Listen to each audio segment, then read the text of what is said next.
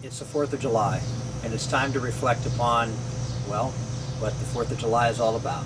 It's about our independence. It's about striking a blow for freedom that was heard around the world and continues to be heard. But it will only be heard if we stand up and continue to fight for that freedom.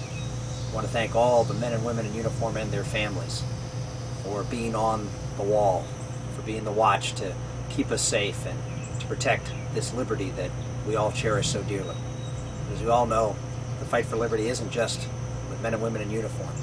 As we've seen over the past weeks, it's right here in this country.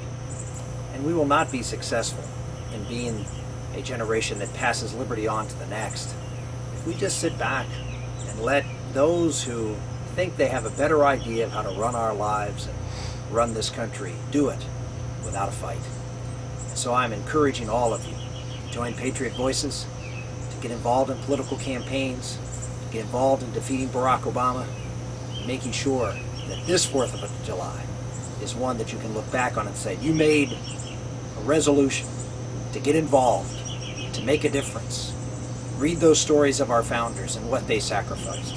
It's now our watch, it's our turn to step up and defend freedom. So I wish all of you, on behalf of Karen and all of the kids, a very, very happy and determined and committed 4th of July.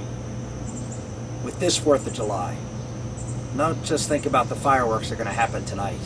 Let's think about some fireworks that are going to happen come November.